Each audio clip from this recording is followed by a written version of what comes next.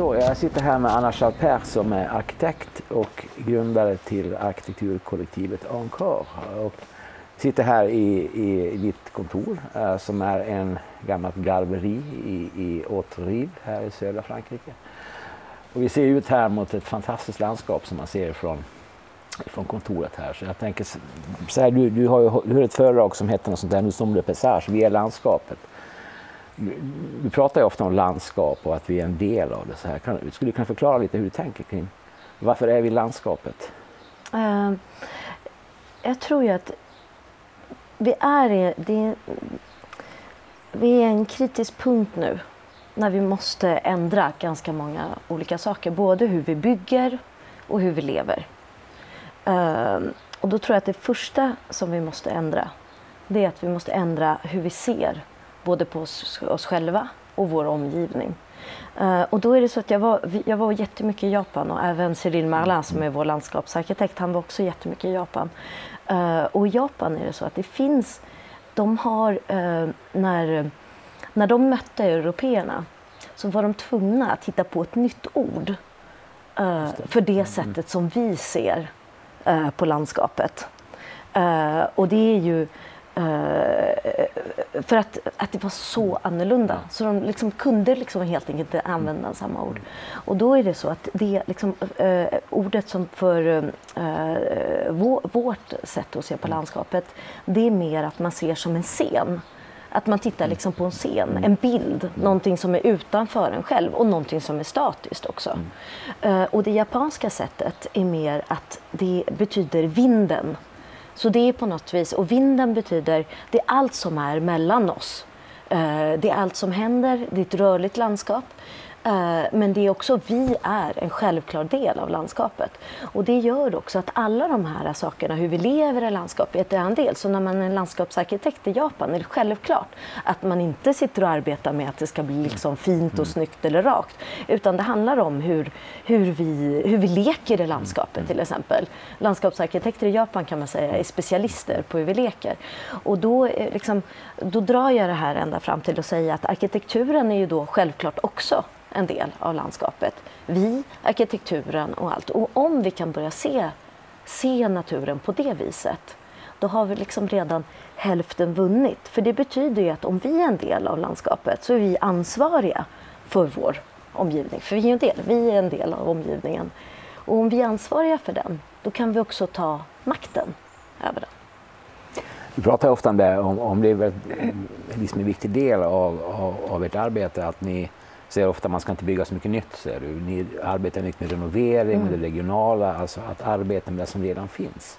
Och det är också en relation till historien förstås i det här. Mm. Hur, hur, ser du på det, liksom, att arbeta i en regional kultur, i en viss tradition, en viss historia? Mm. Arkitekten måste ju ändå tillägga mm. någonting på ett speciellt sätt. Alltså det måste finnas en balans här mellan att liksom mm. lyda det som finns men också själv skapa någonting. Ja, nej men, det där är verkligen, det, det, det är förlängningen på det där att ta makten. Uh, för det är också någonting som jag känner väldigt mycket. Att det, det går inte att bara säga att vi som, som om, vi är en del av landskapet uh, så kan man inte bara vara ett offer utan man måste faktiskt säga uh, att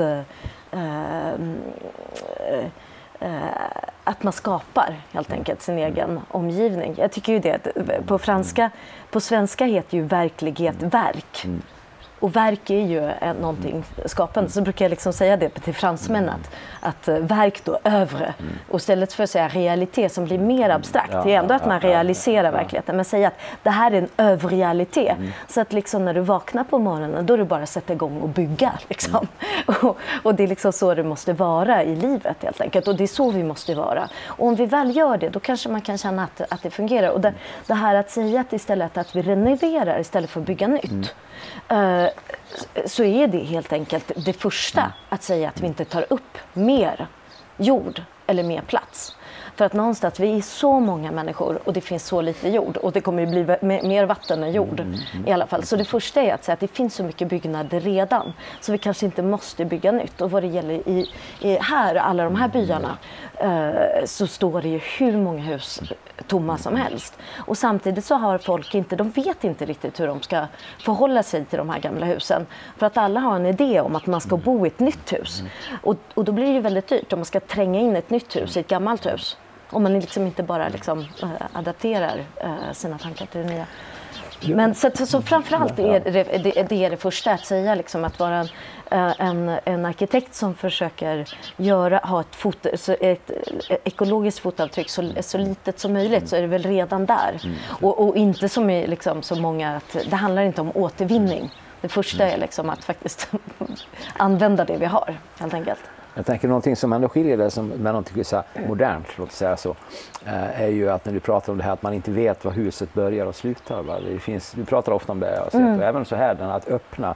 Men den traditionella kan jag föreställa mig arkitekturen är ganska sluten. Det handlar om att skydda sig mot väder och vind och sådana saker. Mm. För det handlar om att öppna, plocka bort tak som jag har gjort i många tillfällen. Mm. Och så där. Man vet inte var ett hus börjar och slutar. Mm. Vad innebär det egentligen? Men det är samma sak, att jag tror att, och ändå mm. mer i, i, i Frankrike än i mm. Sverige, för att jag tror att i Sverige så att naturen uh, finns mycket mer med. Uh, men i Frankrike blir ju vårt sätt att se helt revolutionerande ja, ja. Uh, faktiskt, men som inte känns alls, alls på samma sätt i Sverige. Så, men, men i Frankrike, att, att helt enkelt då, för det handlar ju om att inte bara titta på huset, att som, som franska arkitekter, de tittar på huset och det som är allra viktigaste det är att de tittar på huset utifrån. Mm. Mm. Men det viktigaste är ju här, där vi är här inne. Men också då att helt enkelt när man jobbar som arkitekt, att sluta liksom bara att sitta och titta på sitt litet egna lilla hus. Utan då jobba med alla skalor. För om vi är landskapet så är vi ju ända till stjärnorna och ända till Pyrenéerna. Mm. Och som här då, att om, om Pyrenéerna och floden och havet är en del av ett hus. Och om man verkligen jobbar och tar in dem och de finns med, för om man inte tänker på dem kommer de inte finnas där. Om man bara sitter och lägger allt krut på sin fasad, då kommer inte Pyrenéerna finnas där. Men om man tänker på dem, då blir ju huset lika stort och då mm. blir det fantastiskt. Men det är inte en själv som är fantastiskt. På sätt och vis är man så ödmjuk med att säga att det där är mycket större, jag plockar in det och plötsligt får arkitekturen rätt skala. Och vi också. Vi är så där små som när man tittar på ett uråldrigt träd. Och så känner man sig så. Och det är också det att, att, att gamla hus som har varit där långt före oss och kommer vara där långt innan mm. oss. Att på något vis liksom lyssna på dem mm. först istället för att liksom tvinga sig på dem på något vis. Och ha den ödmjukheten att säga att de är precis lika viktiga som beställare och de som kommer betala och kanske ändå viktigare. Och det, och det här sättet att arbeta börjar folk verkligen lyssna på för att folk är intresserade av att det kostar mindre, ja, för det gör ju det, det helt enkelt. så, att, så, att, man liksom möts där, i liksom, uh, helt enkelt, att lägga pengarna på rätt ställe. Du har också pratat om att det är tekniska detaljer som uppvärmning, använda existerande material och sånt där. Du har ju de här liksom stenmurarna här. Kan du säga lite om hur, hur du tänker kring det, alltså de här liksom mer liksom tekniska sakerna? Mm. Uh, och, och, som vi har, vi har byggt här då, på, det här, på, på, vårt kontor, så har vi gjort. Och då har man, jag vet inte om du kan filma liksom väggarna som, i och för sig det här är inte de finaste Nej. väggarna, det är ändå finare där. Men det, de är ju byggda, själva huset är ju byggt som man gjorde på den tiden, liksom, att man tog bara stenarna precis som finns här och sen byggde man upp liksom. Och så kan man se olika ränder, man kan se för varje dag som man bygger. Liksom. Sen bara en, en stenrad och en stenrad, så otroligt fint. Liksom. Uh, och de här gamla byggnaderna som, som arkitekter då, som jobbar för staden, då kan de vara så här, ja de är jättefina, då ska vi se dem utifrån. Liksom. Men vi ser ju mer att det är viktigare hur vi lever inomhus. Och det här är viktigt på flera olika sätt. För det är så att om vi isolerar huset inomhus, då förlorar vi uh, uh, ah, inerti. Uh, iner, inerti. Tröghet. Trögheten, ja, materialets mm, tröghet. Ja. Då förlorar vi materialets tröghet. Den här trögheten är så viktigt för att när det är eh, jättevarmt ute, som det blir nu, mm. när det är 40 mm. grader varmt ute, så har du de här stenväggarna, som även som i vårt hus, mm. som är 80 centimeter eh, tjocka. Då behåller de kylan. Så att om du isolerar utvändigt så är det fortfarande kallt invändigt. Och det här är ju så att om du multiplicerar det här till exempel som i Paris. Om du börjar isolera invändigt hela Paris alla de här stenväggarna, alla de här husen som man kom in i, ni vet det var varmt ute, Ja. kommer in och så är det svalt. Det är borta. I liksom miljöns namn. Mm, Det är helt otroligt. Och så alla blir jättevarma och vad gör man? Då sätter man liksom på, Luftkonditionering. förlåt? Då sätter man på AC'n. Ja, då sätter man på AC'n. Och då blir det ändå varmare ute. Och sätter man på ännu mer AC. Och sen hela Paris och bara... Uh, och här har vi ju inte samma problem, Nej, men ändå. Så att här har vi isolerat utvändigt med hampa. Hampa, en blandning liksom av hampa och eh, kalk. Man kan också ha hampa och jord och sen så sista, sista, sista lägger man på kalk liksom, på huset. Så att, så att det blir liksom en utvändig eh, isolering som gör att eh, huset ändå, eh, vi värmer och håller värmen på vintern. Att liksom, det blir också så att man är som i, i en, liksom en, en, en kakel, vi bor i en kakelugn. För att när vi väl har varmt huset så är det varmt, väggarna är varma och sen på sommaren är det kallt helt enkelt. Tänk på staden Paris här. Du har ju bott i Paris också tidigare. Så. Mm. Jag vet, du har sagt en del saker som att det här med den, den hållbara staden, så där, du är lite skeptisk. Du säger ett föredrag någonstans, där, glöm staden. Så här, någon sån där. Glöm den, det, det är inte staden som Mm. är hållbar. Utan ett nätverk av byar som du pratar om. Mm. Så hur, hur ska man tänka där? Jo, nej, men det, det är ju så att det är väldigt många nu idag som liksom blir super bara, åh, det, ehm, eh, jordbruk i i flera våningar, eh, vi ska odla på taken och så vidare.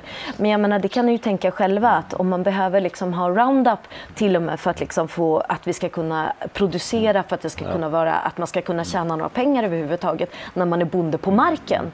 Hur liksom mycket kommer inte tomaterna kosta om man ska bygga dem liksom i våningar? Då kan man ju tänka sig hur mycket liksom det kommer kosta, hur komplicerat det kommer vara. Så närodlat i staden är ju en myt.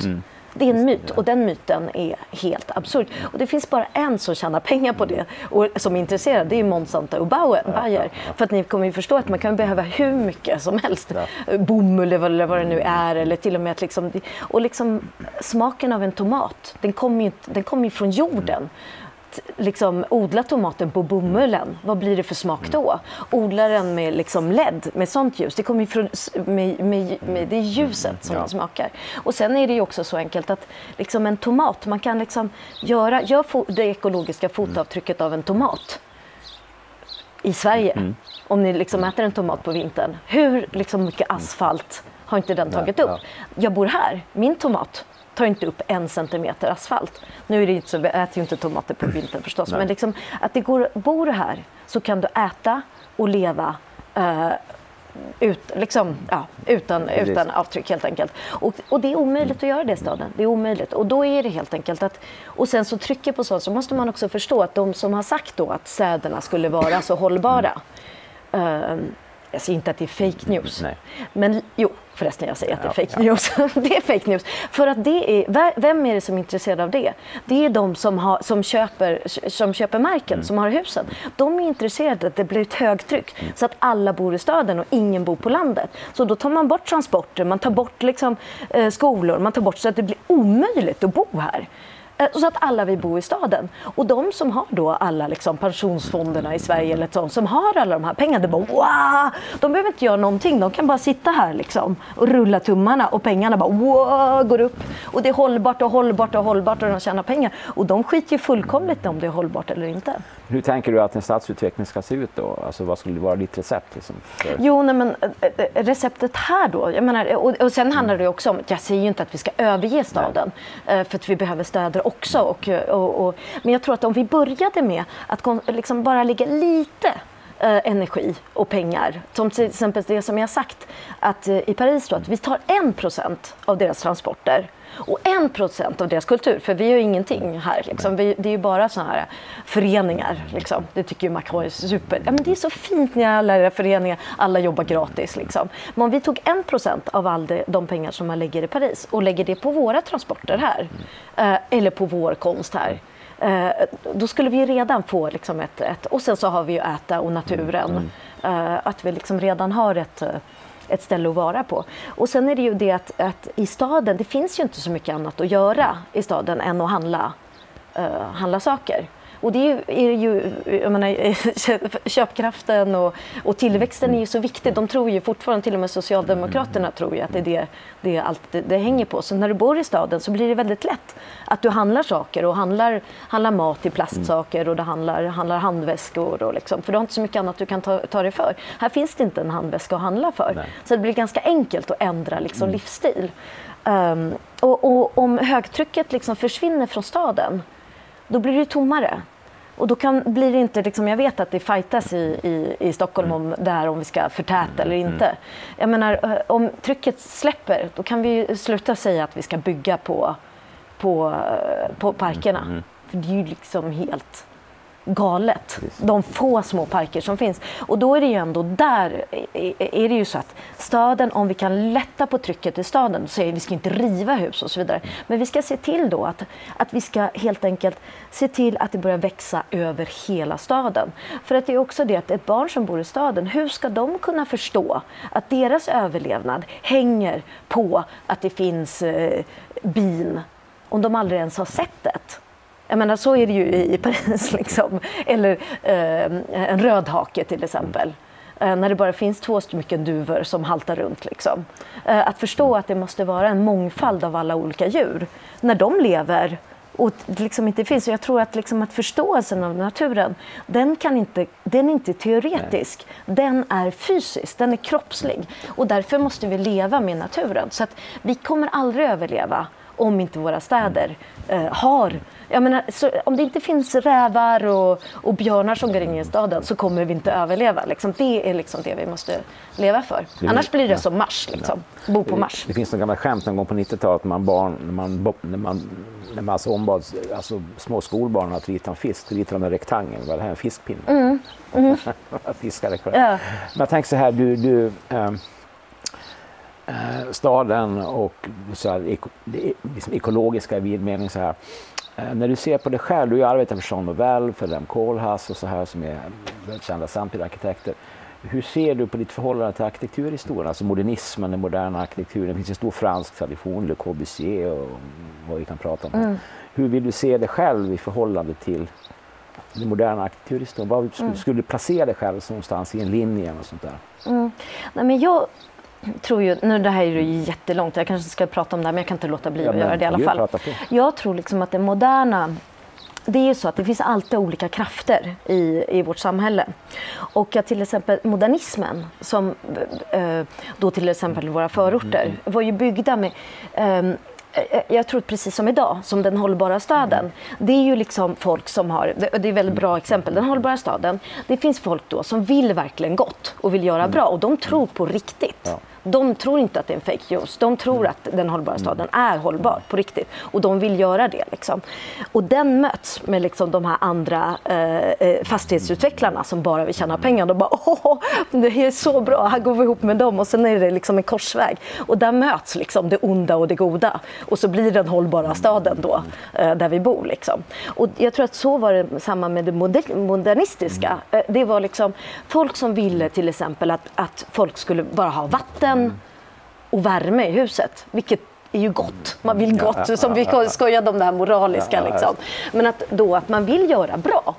Eh, och sen finns det andra fastighetsutvecklare som tycker toppen, vi ger dem värme och vatten. Vad gör vi? Vi slänger ut dem från staden, sätter ut dem i förorterna och sen bygger vi. Jag var faktiskt i Sydafrika och tittade på hur de byggde i Sydafrika. Och Sydafrika, då bygger man ju alla, alla på den tiden innan, det var precis när det fortfarande var apartheid. Eh, eh, hela Sydafrika är byggt som våra förorter. Och som det, i Sverige så är förorterna ändå så fina i jämförelse med i Frankrike. Men i Frankrike kan man se till exempel i Marseille och även runt i Paris. Att det är liksom byggt för att man tog, tog människorna in i mm. staden, slängde ut dem och sen så gjorde man precis som apartheid att man gjorde motorvägar runt varje mm. ställe så att de inte kan flytta på sig. Så att alla som bor där är liksom fångade mm. så att man håller koll så att de inte kan göra revolution. Ja. Och, och sen byggde man även staden för man vill, vill ha ljus och man ville ha natur och det var fint. Men det var andra som ville hålla koll på folk och prata om den transparenta staden och transparenta samhället. Men då byggde de vi hus då som inte har någon baksida. ingen gömt ställe. Ja, ja. Så att du kan liksom, det bästa staden för att göra revolution, det är medeltida staden. Det var liksom Paris. Den var så bra. Vi bara sprang ut på gatorna, gör revolution, sticker in då de här små vägarna. Eh, och, då, och det var ju då Haussmann då som, precis. som, som såg till att bygga en antirevolutionär stad. Och sen så drog man det ett steg längre till modernismen och såg till att bygga de här husen där det är omöjligt att göra revolution, omöjligt att mötas. Det finns ingenstans där du är hemlig. Allt är öppet. Det är den trans- transparenta staden, men det är för människan. Men de som styr, de har ju ingenting av det. Nej. Och där är ju det roliga att städ, liksom själva modernismen, både arkitekturen är fin, det är bra, det finns massa fantastiska fina saker med det. Eh, men sen så bakom så finns det liksom ett system att vilja styra, stoppa in människor, hålla koll på dem eh, och så vidare. Som liksom, och, och den blandningen är ju liksom... Men, förlåt, men jag tänkte säga om, om du Mm. skulle placera dig själv, finns det arkitekter som inspirerar dig i traditionen? Alltså vilka namn? Alltså, det är kanske en platt trivial fråga, men ändå. Alltså, vilka arkitekter inspirerar dig i, i, i rimlig närtid här som du känner dig Ja. besläktad med? Ja, nej, men det var ju väldigt roligt det där vi pratade om, om Kolas. För att jag, om jag jobbade för honom så var det ju för att jag var eh, att Han att han inspirerade mig. Han är liksom. din motor. Han, var med, ja, men han är min motpol. Men han var, jag, var ju, det- jag sa ju det att jag läste Delirious New York och bara älskade honom. Även det han skrev. Och även hans sätt att arbeta. Det är så synd att han var född i, i Rotterdam och levde liksom i ett ställe som var så artificiellt. För jag tänkte om han, ty- var en bondson han från inte Dalarna. Han som inte det. flyttade till Stockholm så Han så nog inte själv att det är fantastiskt. synd att han Nej, men det, var, det var väldigt synd för då hade han kunnat gjort någonting helt annat. Eh, trots allt. Men En- vad är det hos honom som du tycker är så fascinerande? Förlåt, Vad är det hos honom som du fa- fascineras? Nej, men det som är fantastiskt som han har lyckats med sitt kontor att han kan jobba i grupp. Mm. Han vågar jobba, precis för att tyvärr då så är resultaten då att det här att man liksom asfalterar hela och, den, det, och det och jobba över hela världen och så vidare. Det, det är ju naturligtvis, det, det, kan jag inte liksom känna för. Men på det viset han jobbade som han jobbar, Mm. att man jobbar i grupp på riktigt och att man själv faktiskt nästan försvinner. Mm. För att han är inte en arkitekt, han är verkligen en producent som gör att alla, att vi, blir ju större tillsammans. Mm. Ja. Och att det inte är det här ensamma geniet som jobbar utan vi är flera stycken. Och sen har han den här totala, även fast han är superrädd och det gör att han är en ganska aggressiv och obehaglig person. Eh, Men han kan ändå inte låta bli att gå ut i det okända och vilja liksom, vi har ingen aning om vad vi ska och hela kontoret har ingen aning om. Nu vet jag inte om de är så längre men på den tiden i alla fall när jag jobbade där för länge sedan så var det ändå så att vi hade ingen aning om och alla var så nervösa så alla liksom hade, eh, alla hade diarré typ för att vi var så stressade liksom. Men samtidigt så, det var bara att köra på och till slut så var vi alla överraskade över resultatet och ingen hade kunnat komma på det där själv. Och jag, jag tror för min del så lärde jag mig den situationen att helt och hållet på något vis försvinna. Att liksom för arkitekturen, jag säger alltid det, basen i arkitekturen är ingenting. Det är luften. Så om du liksom verkligen vill kunna liksom sätta dig in och bli riktigt, då ska det bli luften. Liksom. Och, och, och, och, och jag tror att det där att, att kunna helt känna att du, du själv blir ingenting och att du lyssnar på huset, du lyssnar på Pyrenéerna, du lyssnar på alla som är runt omkring, alla dina beställare och även beställare, eh, alla möjliga och även de som vill tjäna pengar. Ja. För att liksom det, jag menar pengar är liksom, ekonomi är liksom en av basen i vårt samhälle och det, liksom, det, den går inte att ignorera. Och att om man jobbar med alla de sakerna, och det, det har ju, har ju han, han lärt mig. Du Liksom. har sagt någonstans i en intervju, tror jag, eller i en film eller något föredrag att det viktiga i arkitekturen är det osynliga, inte det synliga. Ja, Och det osynliga här ska förstås då som, som atmosfären, luften eller liksom... Ja, eller det, det är ju det att eh, ehm, det liksom... ehm, det, vad som helst kan ju hända i luften. Det är ju faktiskt så. Ja, Vi kan göra ja, vad ja. som helst. Det finns ju liksom en öppning för vad som helst. Och det är det som arkitekturens potential, Potential. potential är ju eh, det här faktiskt, att kunna göra vad som helst. Sen har, lever vi i ett samhälle där vi både bygger våra städer och även med våra, vår arkitektur, Mm. att vi begränsar Att istället för att öppna upp och göra att vi blir friare, att arkitekturen befriar oss och att liksom själva essensen med arkitekturen, att på något vis både skydda oss och befria oss, eh, den har försvunnit. För att det är så mycket att vi försöker begränsa och kontrollera och se till att ingenting farligt händer. Mm. Och, liksom, och allt, allt det här andra har försvunnit. Och det är, liksom, är väl det att jag jobbar mycket mer med det befriande och, mm. och, och, och det man eh, åtrår istället för det som man försöker liksom ta bort. Men, men att, det, det, luften är ju liksom osynlig. Mm. Men det är det som att om man inte tänker på all den här potentialen, alla de här länkarna, samma saker, om man inte tänker på det kommer det inte finnas. Eh, man kommer kunna, kunna ja. göra mycket, mycket mindre. Om man inte tänker på var fåglarna kan bo eller vilken mm. plats man kan sitta på och så vidare så kommer det inte finnas. Så att jag tänker på det först. Sen blir det form också. Och den är hur viktig som helst. Jag säger inte att inte den är viktig. Uh, naturligtvis, för den, mm. den, den sitter ju ihop. Liksom. Uh, uh. Så man kan säga att på många sätt är du en väldigt skandinavisk arkitekt mm. jämfört med den franska traditionen. Så här, liksom. ja, om du tänker på det skandinaviska, liksom, vad finns det här för arkitekter som influerar dig? Mm. Tänker du i, i en sån traditions i, i termerna tradition på det sättet? Mm. Nej, men jag tror inte den, den, den, arkitekten som var, kan mm. varit viktigast för mig uh, var ju min lärare mm. som jag mm. träffade i Bordeaux som heter Jacques Ondelat. Uh, och han var ju själv ingen sån regionalist eller någonting sånt. Det skulle man inte kunna säga och han var ju liksom, var ju, han var ju postmodern, så liksom, han var ju på den tiden också. Men, men det som han lärde oss. Han lärde oss flera saker. Men liksom, det självklara var kanske ett annat sätt att se. Men det självklara att, att lyssna på platsen och använda den. Och vara på platsen länge, länge, länge. Och det som är nu idag, att även i Sverige, för att jag var, var och såg eh, exjobben i Sverige. Att, eh, Folk använder idag eh, olika verktyg, som till exempel ett verktyg som heter BIM, då, eller jag vet inte vad det heter på, på svenska, men att de använder liksom att de börjar rita i 3D. Så de använder då, man använder både Google och så använder man 3D och man gör bilder och så vidare. Och det är väl inget fel i det på sätt och vis skulle man kunna säga. Det borde ju kunna liksom förenkla liksom, kanske. Mm. Men det som gör att de börjar arbeta med det här på en gång och det gör att det tar så mycket tid. Och du kan få, få veta så mycket utan att gå, gå till platsen och titta. Och det är ju ändå så att de här, de, allt det som du ritar där, det finns ju ingen vind. Nej finns ingen vind, ingen luft. Nej. Du andas ingenting. Det finns ingen sol, det finns ingen värme. Du kan liksom inte springa omkring i ditt program. Nej. Allt det här, det viktigaste, det som du liksom använder, det finns inte där. Och då kan man ju säga, men det kanske du kan tänka ut mm. ändå. Men, men det gör du inte, för du är, det tar upp så mycket plats. Så att liksom de här verktygen gör att du blir eh, för vi, vi är alltid blinda för verkligheten. Så det räcker inte bara med att liksom gå på platsen och tro att det ska hända något. Utan du måste liksom ta bort alla dina skyddslappar och titta på den. Men de här, de här programmen gör att folk faktiskt inte ens förflyttar sig. Och det är ju det som gör till exempel att folk bygger på ställen där de inte överhuvudtaget känner till. Ja. För att jag menar här, jag bor här där jag bygger. Jag bor här där jag bygger för att det är bara det att förutom att jag måste stanna jättemycket på platsen så vet jag också hur det är under året, hur, hur, säsong, hur eh, årstiderna mm. ändras, hur, hur, under år, hur tiden mm. kommer att ändra, hur det kommer att kunna växa. Jag känner till vårt landskap, liksom. jag känner till alla mm. växterna, alla djuren, eh, vad jag behöver göra för att liksom, det ska börja växa. Och jag känner byggarna.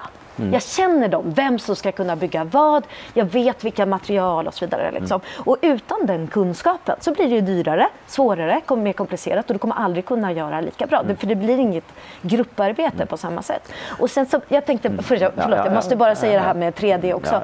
Att det, det riktigt usla med 3D är också att den här, den här faktorn av okändhet som är liksom det självklara i om man vill upptäcka nya saker. Och så kan man säga, men varför ska vi upptäcka nytt? Jo, för att vi är i ett sånt vi är på ett sånt ställe mm. idag. Vi måste hitta på nya saker. Och då måste vi få in det okända. Och då är det att det här 3D, då har du inte okändheten Nej. i dina projekt. Och även när du ritar, när du ritar planer, då är det så att du ritar en plan och sen ritar du en sektion. Och då tänker du, vi har ju lärt oss att titta på planer och se dem i 3D och så ritar vi sektioner som sitter ihop. Och de här sektionerna i början, när du ritar, då hänger det inte ihop. Du ritar en sektion och ritar en plan. Och det, de, det fungerar inte, förstår du? Och, och och det är så viktigt! För hur ska du komma någon vart om du inte är där? För om du börjar direkt att allt ska hänga ihop, då kan ni ju förstå hur kul det blir. Ja. Det blir liksom allt som alla redan har gjort. Så att, liksom att vara det här med liksom en, en, en form av liksom arbete som inte hänger ihop från början är väldigt, mm. väldigt viktigt. Jag tänker, vi pratade tidigare om det här med ska säga, den sociala aspekten av arkitekturen, då, så här, mer ska säga, politiskt. Du har också haft, gjort senare tid en hel del projekt involverade med liksom, vad heter det, social housing, vad heter det på svenska? Egentligen? Det finns ju inte, så jag tror inte att det finns något uh, ord, på riktigt Men ord. Jag vet att du har en massa, en massa idéer om detta som också handlar om återanvändning och så här. Och, och hur, kan du säga något om det? Mm. Uh, det är ju så att i, i, i, Frankrike så är det ju i princip, jag vet inte hur stor procentandel var folk som har rätt till social housing. För det handlar ju om hur mycket du tjänar och hur mycket du liksom ja. inte... Ja, och, så att du behöver få hjälp med ja. din bostad. Uh, och hur många som har rätt och det finns åtminstone två miljoner som står och väntar på en mm. bostad.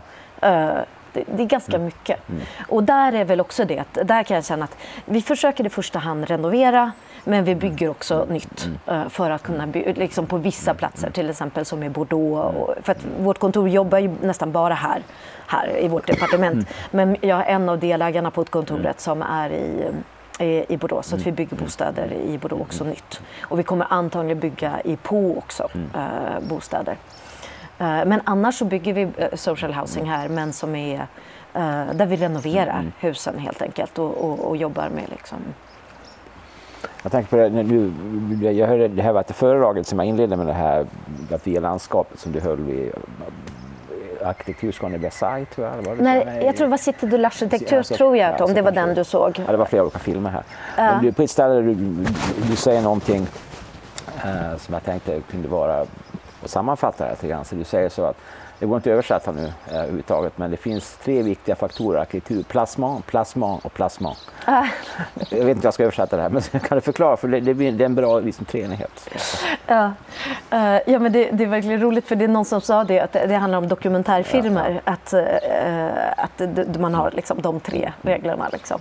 Och, uh, det är precis som när man filmar. Det handlar ju liksom först om var står du?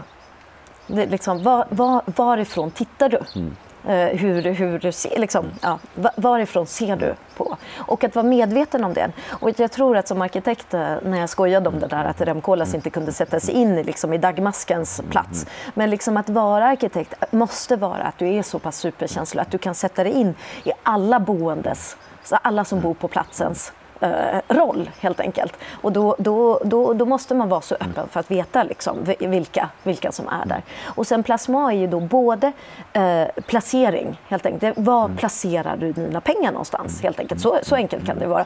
Eh, och, och, eller om man börjar placering, var du placerar ditt ja, hus, ja, är ju allra liksom, början liksom, hur du placerar. Och att det är så oerhört viktigt var var mm. och hur, hur um, och sen det mm. andra, det här var du placerar dina pengar. Mm. För vi tror verkligen att ekonomi och generositet mm. hänger ihop. Och att det är oerhört viktigt de här att ta beslut. Och du kan inte liksom ta beslut mm. på var mm. och du kan inte lägga pengarna överallt. Utan det här är liksom ett av de verk viktigaste verktygen. Uh, hur, uh, var, du, du bestämmer helt enkelt. Och, och allra bäst att man försöker lägga så lite mm. pengar som möjligt på de flesta ställen för att kunna göra mm. någonting helt fantastiskt någon, någon annanstans. För mm. här bygger vi alltid så ekonomiskt. Som mm. liksom, vi har ju inga pengar överhuvudtaget.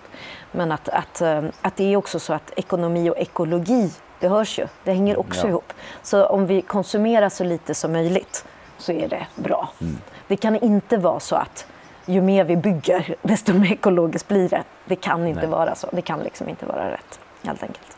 Vet du, du har lite idéer om utbildning och bygga upp nya institutioner. Så här, hur ser du liksom på ditt arbete, ditt kontor i en vidare sammanhang? Vilken roll kan vi spela i en förändrad intellektuell kultur? Så här? Mm. Det, det, det, var faktiskt eh, departementet här i Pyrénées Atlantique som frågade om vi inte ville skapa en skola. Och jag var ju jättesugen på det men, men Michelin har ju sagt blankt nej. Så att än så länge, så, än så länge har vi inte tid. För att, det är en skola, det blir en sak till. Så jag kan byta ut alla projekt mot att göra en skola men det gör jag inte, det är helt sant, det bara, jag bara ljög. Fullkomligt. För det, jag byter inte ut ett enda projekt mot en skola. Och sen är det också det att på sätt och vis, jag känner att det är så viktigt att uh, förmedla Uh, utbilda, mm. hjälpa mm. till hur vi ska bygga. För det, det, det är samtidigt, jag behöver ju utbilda mig också. Ja, ja, ja. Att, att det, det, är så viktigt. Och på sätt och vis att om vi skapar den här skolan här så är det allt vunnet. För folk kommer komma hit, uh, eftersom det, det är få, mm. få folk här, och vi kommer kunna utbilda oss tillsammans. Och vi har ju allt här så att vi kan, kan bygga. Vi kan bygga jord, vi kan bygga rätt i sten och vi kan liksom använda. Och att, att arkitekturen blir så konkret och så platsbunden uh, som den bara kan bli, liksom, helt enkelt. Ehm, men... Ehm, ja. Det är också en fråga om, om plasmon kanske, placering, pengar. Ja. ja. ja nej, men, nej, men jag, vi har en väldigt en tydlig bild av, av så här, jag tänker så här uh, Ja, jag kommer inte på vad jag ska säga. Här. Har du någonting mer du vill säga? Någonting jag tycker jag ska säga? Nej, men jag tänkte faktiskt bara lägga till en liten sak med det där med plasma att, mm. eh, och vilken position mm. du är på. Att det handlar också om en, en sak som är väldigt viktig inom arkitekturen mm. som kan hjälpa dig att ta beslut. Mm. Både dig och dina beställare och de du jobbar med. Det är att vi jobbar med olika skala. Och när du ritar på ett papper, eh, då ritar du så här självklart i en skala. Men när det är på datorn så är det mm. skalöst. Mm. Och det gör att folk är liksom mer upptagna av liksom toalettlocket mm. än av Pyrenéerna. Mm. Liksom. Så att de har liksom inte rätt skala. Och den här att jobba med olika skalor är att du liksom tittar på, du kan titta på hela jorden. Liksom, vilken impact ditt hus har, ja, ja. skulle ha på hela jorden. Eller på regionen, eller på staden, eh, eller på din lilla by. Mm. Eh, och sen på din trädgård och på jorden. Och sen så, ja, och på svalan som bor. Eh, och så vidare och så vidare. Och så vidare. Och sen så, och det självklara för en arkitekt är att kunna jobba i alla olika skalor. Och det där är någonting som faktiskt har försvunnit. Mm. För att folk har liksom den oändliga skalan inne, inne på datorerna i sina 3D-modeller. Och där liksom de, här, de här riktigt stora skalorna där man binder samman och förstår liksom vad du själv gör och sätter samman det i ett globalt sammanhang, eller nationellt eller regionalt, eller, som har försvunnit. Folk liksom faktiskt inte fattar vilken impact de har. Uh, och det, det, det, det är någonting som är väldigt viktigt. Och, och, och, om man bara är medveten om det, så jag säger inte att man inte ska jobba med datorer, det gör ju vi naturligtvis. Men att man måste vara medveten om dess begränsningar, helt enkelt. Och det, det, det som kan bli fel, liksom, helt enkelt.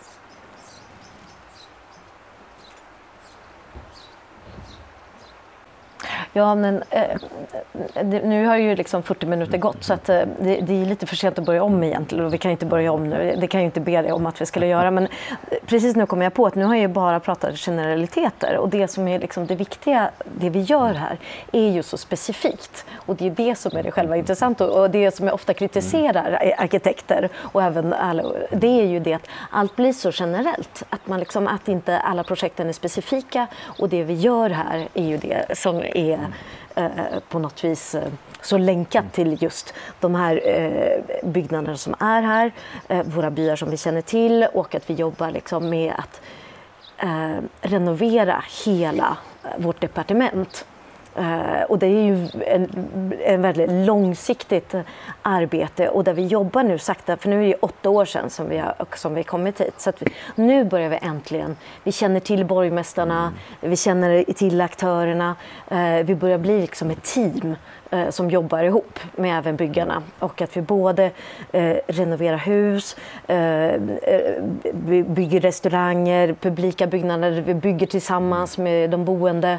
Eh, vi försöker få igång de olika sorters transporter, ändra till exempel skolsystem, skolbussystemet, eh, att det kan bli riktiga transporter och för alla och, och sen så framför allt få till, för det finns ju nästan ingen kultur här, att få in kulturen också. Så kan man säga man, i så fall, alltså arkitektens roll blir, blir ganska liksom bred här, och det handlar om transportsystem och skolsystem. Mm. Och det är kanske det som många arkitekter skulle kunna tänka mig att du uppfattar att de är för begränsade i sin syn på vad man gör. Att det handlar om att tänka hela ekosystem eller sociala mm. system. Och att det räcker inte med en byggnad eller ett ingrepp, man mm. måste tänka hela liksom, systemet kring det hela. Mm. Ja, för det är precis det där, de här begränsningarna, att vi försöker sätta alla på plats. Vi mm. försöker sätta alla på plats som ska bo i sina mm. hus, vi försöker sätta alla yrkesgrupper på plats mm. också. Och att på något vis, som, för att kunna göra bra arkitektur så måste du arbeta innan, mm. helt enkelt. Och för att kunna göra bra arkitektur kan du inte låta någon annan säga bara, ah, jag vill göra det här programmet i den där byggnaden. Utan säga, nej, Först lyssnar vi på byggnaden. Mm. Byggnaden får bestämma vilket program och då gäller det att du är med i de här processerna. Och då handlar det verkligen om att verkligen ta alla sätt som vi byggde arkitektur på förut. skaka runt det och ändra. Och det känner jag som är här. Att, att vi har liksom så mycket gått in i väggen så att alla är beredda att lyssna och göra annorlunda. Och det kan jag känna är ju en helt annan eh, än för åtta år sedan när de fortfarande tyckte att vi var bara wow, helt knäppa i huvudet.